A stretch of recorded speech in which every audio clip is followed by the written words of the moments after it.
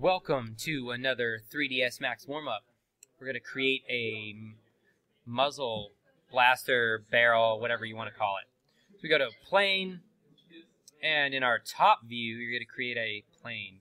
We go to modify, call it muzzle or barrel or something. We're going to do dimensions. We're going to do 80 by 40 and 3 by 3. Right? Consider it if you want to, not a big deal. Make this a little bit easier to see. Okay, we could convert this to editable poly. We're going to go to edge mode, so you have to turn on your edges. Go to Swift Loop, and we're going to add a loop. Uh, let's do one at the top and one at the bottom. There we go, turn that off. We go to polygon mode. We're going to select these three polygons, control clicking each one. And we're going to do an inset because we want to have that good poly flow because we're going to make this be a curve. We got that. We're going to switch to, let's just do edge mode because it's a little bit easier, but we're going to click this edge and this edge, and we're going to do scale. So that's that would be this scale right here. And on the X, we're going to scale that in just to make it get that nice uh, shape here. We can go back to polygon mode. They're still selected, you can see. Going to just hit delete and make a hole. There we go. We're going to turn off polygon mode. Right, we don't want any modes on. You're going to go to the modifier list. Uh, actually, let's skip that. Let's uh, actually create our array first. We're going to go to Tools, Array. We're going to do a copy. First thing, type of object, copy. We're going to do four of these. Suppose we could do five, but four. Let's do preview on. And on the X, right, we can drag them out. So it looks like, I'm estimating it's probably going to be 40, I bet. Yep. Remember, we did 80 by 40, it's 40. So if you do it every 40 on the X, they're right beside each other. So we click OK. Okay, then you can go to element mode and under edit geometry we're going to go to attach and you're going to click each one of these objects. This is a very important step to make sure that this is one object. So it it's now you can turn that off. It's now one object called muzzle 03. I'm just going to delete that because I want it to be just muzzle. Yay. Now we're going to do bend modifier, right? The angle is 360 degrees, and this is on the X. Voila. Right, so now we have kind of the shape. Now you're really seeing it come to life, right? So uh, that's good. Now we have some problems here because the points aren't welded. So we're going to put on Edit Poly on top. We're going to go to Points mode and just drag select everything. And then we're going to go to Weld Settings. So 0.1 is enough in this case. So it goes 128, and it's welding 24 points because we're down to 104 now. So we check that. That's good. We're going to turn off our vertice mode. And now we're going to do a shell modifier. So I'm going to hit S twice, go to shell, set the outer amount to zero because we don't want it have going out. We want it to go in. And the inner we're going to do four. So squeezes it in four. There we have our nice uh, shape there. And I'm going to do another edit poly. And you know, we could have done some of these steps before, but like polygon mode, I'm going to click and then shift click.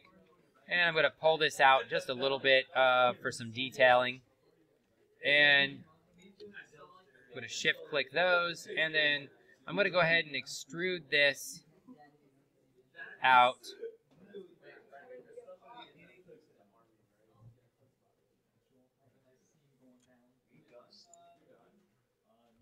And I'm going to also take these.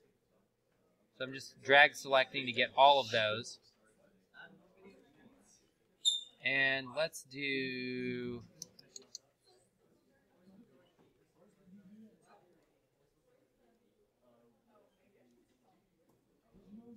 let's do an inset at zero, okay, and then we're going to scale it. We're to use our front view and actually scale it on the X and Y.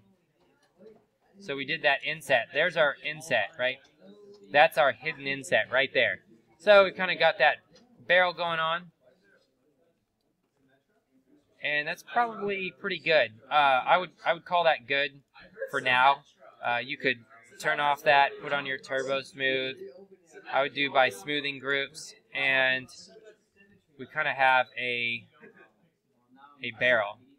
Now we do need some more geometry for the turbo smooth to work correctly. All right, so we'll go ahead and click and then shift click. Select those and inset. Inset. And then do an extrude by local normal. Like a negative 2. Alright, so now to fix this up a little bit, we're going to go to polygon mode. Let's select these four, six, eight polygons now. Get that one. Nope. And then we can just do scale on the Y or not. Oh, we're going to have to right click, convert this to a vertice selection, and then we can scale these in. Okay, that's a little bit better. Um, I'm also going to shift click these and do an inset. Um, let's, just do uh, 0.5 and once you do 1 you can simply do your inset on the other ones there we go or do them all at once however you want to do that and then let's check out what our turbo smooth looks like now. A lot better. A little weird smoothing going on here. So let's back to edit poly. Let's also do a swift loop.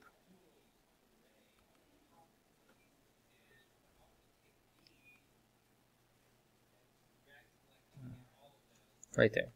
And if it's being difficult, uh, you could just not use Swift Loop and um,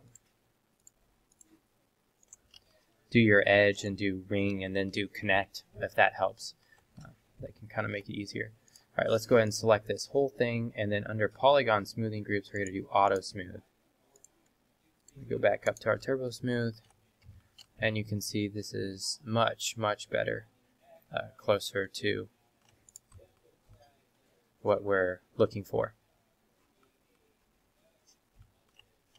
And I could make, you know, a bunch more tweaks, but we're just trying to keep this uh, short for some fun practice. Um,